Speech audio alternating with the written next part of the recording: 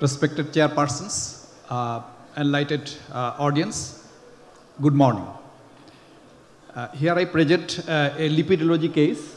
It's actually a management of uh, lipids in a patient with coronary disease.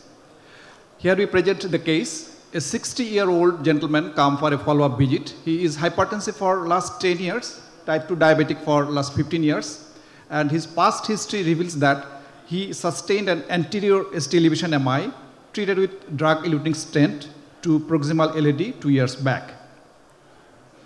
He is currently on these drugs, aspirin, bisoprolol and perindopril for his hypertension management and metformin and empagliflozin for diabetes management, which are well controlled. And he is on atorvastatin 40 milligram OD for his diabetic management.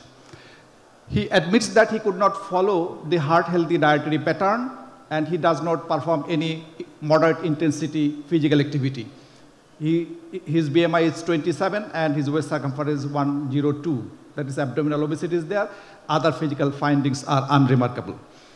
His current lipid profile is this. Total cholesterol is 159, LDL 90, HDL 30, and TG is 195.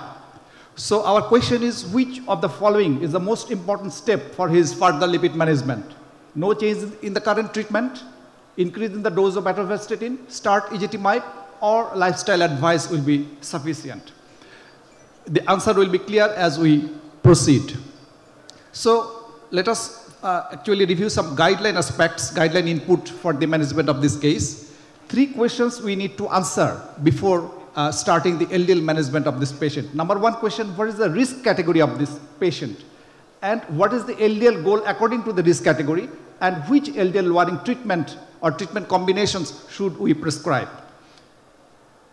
The risk category of our patient is he has got CV, uh, uh, MI and has coronary revascularization, so, so the risk category is he is of very high risk. And for this very high risk category, our goal is at least 50% or more uh, cholesterol reduction, LDL reduction from the baseline.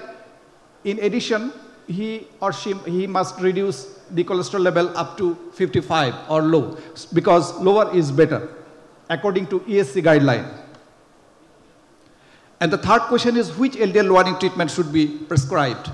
We must start with statin and should uptitrate to maximally tolerated statin. If the goal is not achieved, ezetimibe is added. And even then, if the goal is not achieved, we should prescribe PCSK9 inhibitor according to the 2019, uh, 2019 ESC guideline. So what we have done in this particular case, we have actually uh, uh, doubled the atorvastatin dose from 40 milligram OD to 80 milligram daily. And the starting LDL cholesterol was 90 milligram per DL. After eight weeks, uh, his LDL uh, got down to 82 milligram per DL, but the patient developed intolerable myalgia. So the dose of atorvastatin was lowered to 40 milligram OD and ezetimibe was added. After eight weeks, the LDL has gone down to 66 milligram per DL. Uh, myalgia was subsided, but we noticed that the patient did not achieve the LDL goal even with the combination of atorvastatin and ezetimibe 10 milligram OD because we have an LDL cholesterol uh, 66. We need to go to 55 or below. So this is the scenario, practical scenario in our practice that we cannot achieve the target level either by uh, physician inertia or non-adherence on the type on the part of the patient, or we are not using the combination drug therapy in our uh, actually private in our practice. Here, another thing is noted that when we double the dose of statin, there is uh, only 8% reduction. This is quite natural because we know every doubling of the statin reduces only 6% of the LDL cholesterol. And the addition of ezetimibe reduces about 20% of the LDL, uh, cholesterol on the top of statin. And in our case, the reduction was 20%. So what you can do further to reduce the cholesterol? We can use PCSK9 inhibitor, but it is not available in our country. We can use bempedoic acid. Actually, this is still not guideline recommended. And we can also do actually uh, with, uh, we can lifestyle intervention. We can take the help of lifestyle intervention because every guideline reiter reiterates, repeatedly tells that uh, uh, the, it is the foundation of managing serum cholesterol and TG, but it is given in advice only format in our clinical practice, but it should be delivered in lifestyle counseling format. That's why it's not acting.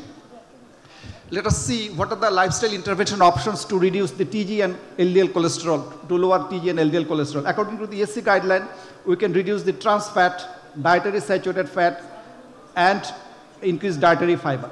These are the magnitude of effect. You see, this is the plus plus, this 5 to 10% lowering of the cholesterol. We can remember that every doubling of the statin reduces only 6% of the cholesterol. But these individual, individually, this has got the five, uh, potential for reduction of 5 to 10%. And the combination of these things may have got prominent reduction in the, in the LDL cholesterol reduction. Further, uh, these are things we can, what we can do to reduce TG and LDL cholesterol.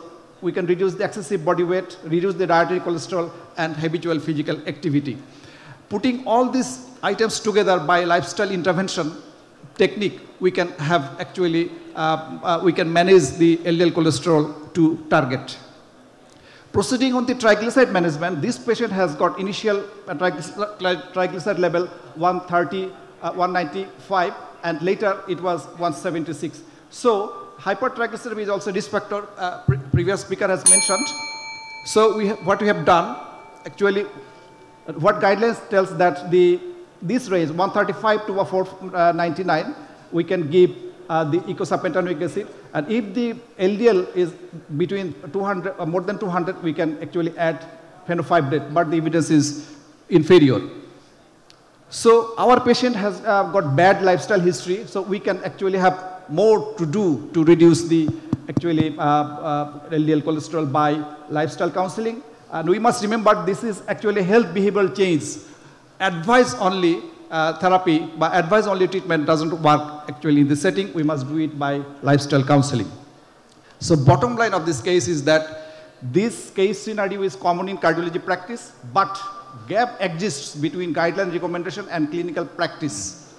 So LDL goal should be determined according to the risk category and statin should be the first line of management, should be titrated to the maximally tolerated dose to reach the LDL goal, other non-statin drugs may need to be added, and hypertriglyceridemia should be uh, treated by appropriate TG lowering measures.